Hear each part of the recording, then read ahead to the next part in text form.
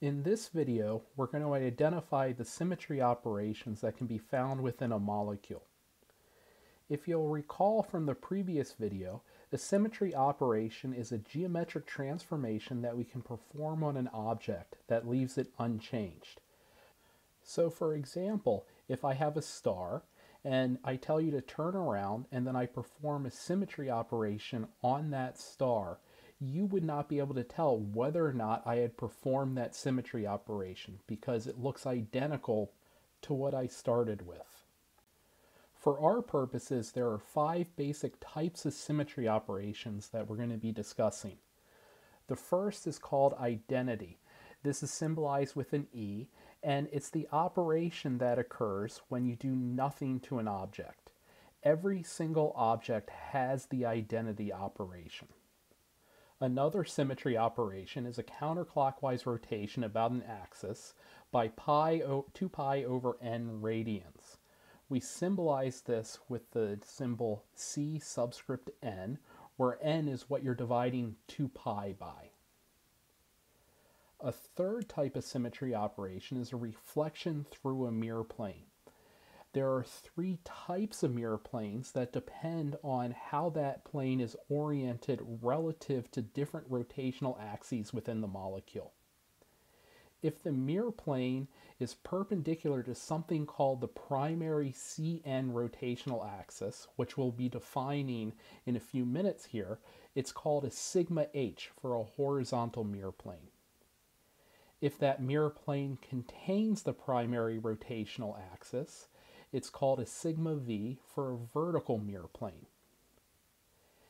If that mirror plane is a vertical mirror plane that reflects a dihedral plane, then we call it a sigma d for a dihedral mirror plane. A fourth symmetry operation is an inversion through a point. This is symbolized with a lowercase i, and what this inversion operation does is it takes all points x, y, z on a Cartesian axis system and converts them to negative x, negative y, and negative z. The fifth type of symmetry operation is something that's a little bit difficult to see in most molecules. It's called a counterclockwise improper rotation about an axis by 2 pi over n. This is symbolized with the symbol S subscript n. And what this rotation does is it does a proper counterclockwise Cn rotation and then reflects the points through a horizontal mirror plane. So the mirror plane that's perpendicular to that primary Cn. What we're now going to do is go through and explore all of these different symmetry operations, and we're going to use two molecules as our primary example. We're going to use square planar platinum tetrachloride and the six coordinate platinum Br2Cl4 molecule. The reason that we're using these two is that they have identical symmetries. Both have the same number and type of symmetry elements. It's just that some of the symmetry operations that we're going to look at are a little bit easier to visualize with the six coordinate species. We're going to start with the platinum tetrachloride square planar molecule and looking at proper rotational axes. And what I've done is I've given you two different perspectives of this molecule so that you can more easily see how these rotations are affecting the different uh, atom positions as we go through them so that you can see how the atom positions are changing. I'm going to label the chlorines A, B, C, and D. And I'm going to place our rotational axis in this red arrow with the counterclockwise rotational vector. We can do a 2 pi over 4 rotation. What this does is this puts A into B's place, B into C, C into D, and D into A because the denominator is 4 in that, this is a C4 rotation. We can take that orientation and do an additional 2 pi over 4 rotation, converting D into A's position, A into B, B into C, and C into D. This is the second C4 rotation that we've done. So we've done a C4 rotation followed by a C4 rotation we can define this as a C4 squared rotation, saying that we've done two consecutive C4 rotations. This would be the same thing as if we rotated this molecule by pi radians, or 180 degrees. So this is equivalent to a C2 rotation along that rotational axis. Going from there, we can do an additional C4 rotation. So an additional rotation by 2 pi over 4 radians.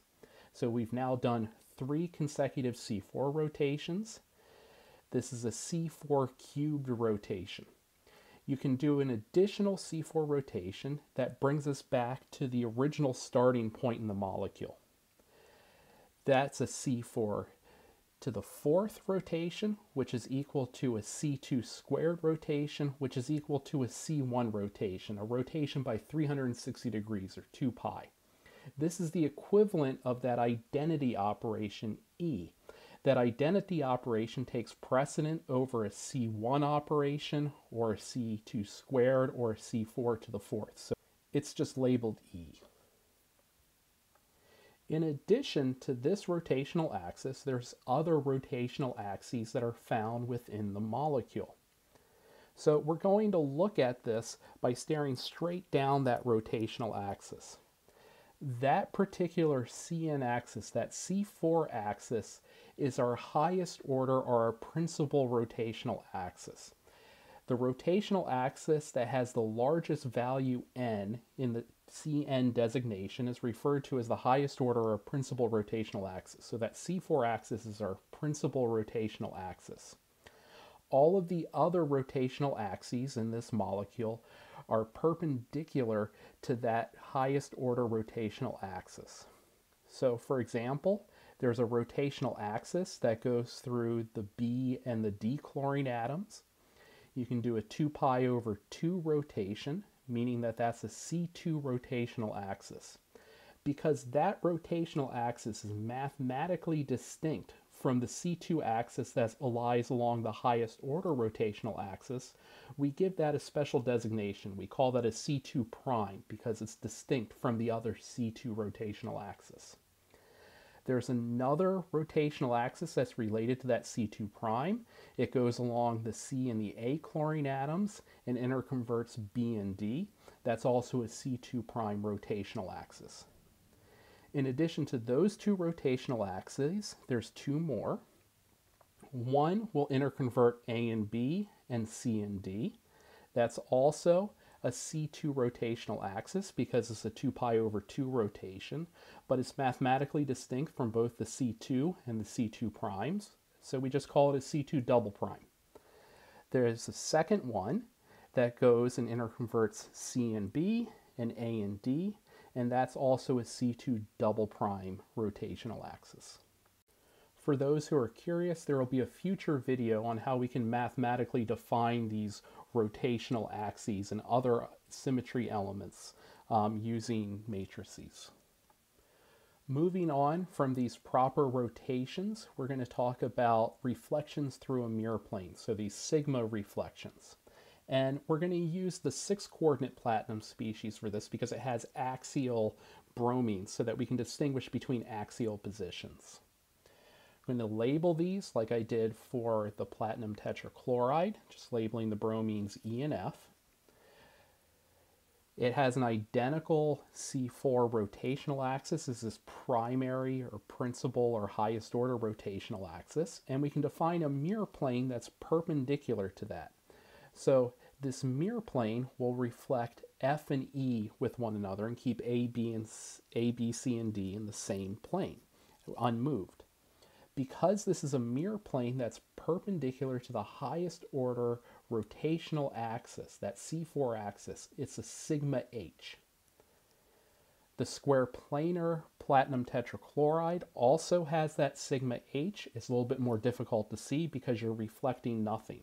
But you're, even though you're reflecting nothing, you're still doing that reflection.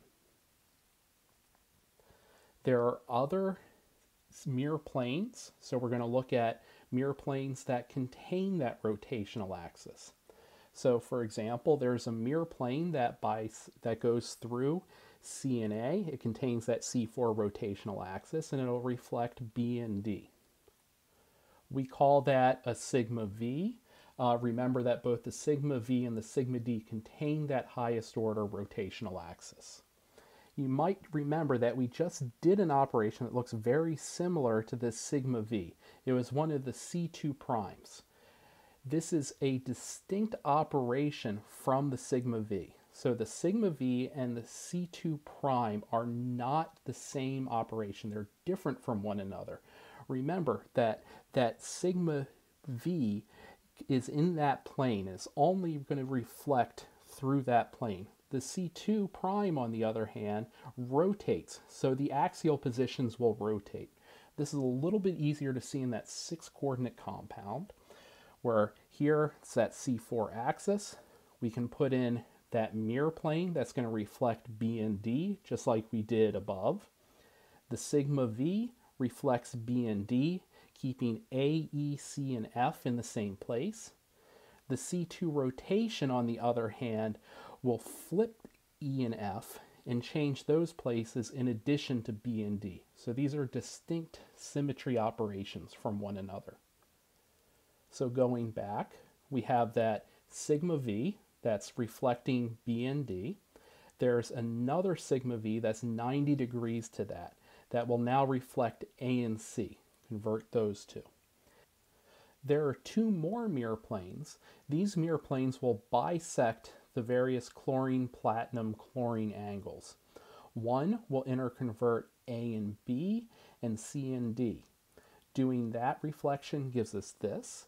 Because this is reflecting dihedral planes, this is a sigma D. It's distinct from those sigma V's. And there's another sigma D that's rotated 90 degrees from that original sigma D. Moving on, we're now going to talk about the inversion operation. The inversion operation operates through a central point in the molecule, the point that defines the point group. So there's our point, it's on the platinum atom, and what this does is it takes all points x, y, and z and converts them to minus x, minus y, and minus z. So doing an inversion on this six coordinate platinum species results in this. A and C interconvert, D and B interconvert, and F and E interconvert. Just as with the horizontal mirror plane, there's also an inversion center in the square planar platinum tetrachloride. It's just that those vacant positions are interconverting. There's nothing there, but you can still have a conversion and get the same molecule out. We're now going to discuss this improper rotation. As I said, the improper rotation is often difficult to see because it's a combination of two different symmetry operations. It's a Cn followed by a sigma h, and that gives you your overall improper rotation. So taking the six coordinate platinum species, we're going to define our C4 rotational axis. And we're going to convert that C4 rotational axis into an S4 rotational axis. We do this by first performing that C4 rotation. So A goes to B, B goes to C, C goes to D, and D goes to A. Now what we do is we do a reflection through the mirror plane that's perpendicular to that C4 rotation. So we do that sigma H, and E and F have now interconverted. Those two operations, the C4 followed by the sigma H, is an overall S4 rotation, so that improper rotation. The S4 is just the C4 times the sigma H. There's another S4 rotation in this molecule.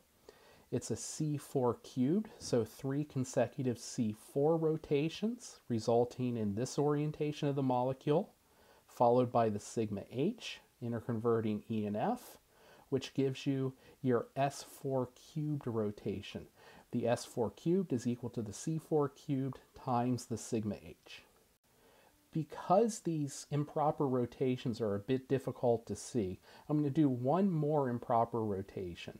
An improper rotation on the molecule methane, so CH4. CH4 is a tetrahedral molecule and it has an S4 rotational axis. This S4 rotational axis is aligned along the C2 rotational axis that I have depicted here. You do the C2 rotation A and B interconvert and C and D interconvert. There's an S4 rotation. So this S4 is along the same rotational axis. If we do first the C4, then we have A and B and C and D all going to positions that don't map onto the original molecule. So there is no C4 rotate symmetry element in this molecule. If we do the C4, however, followed by a reflection through a mirror plane, we do get something that looks like the same out molecule out. Overall, this is an improper rotation. It's an S4 rotation, which is the C4 followed by the sigma H. Coming up in the next video, what we're going to do is we're going to take all of these different symmetry elements and group them together so that we can assign point groups to molecules.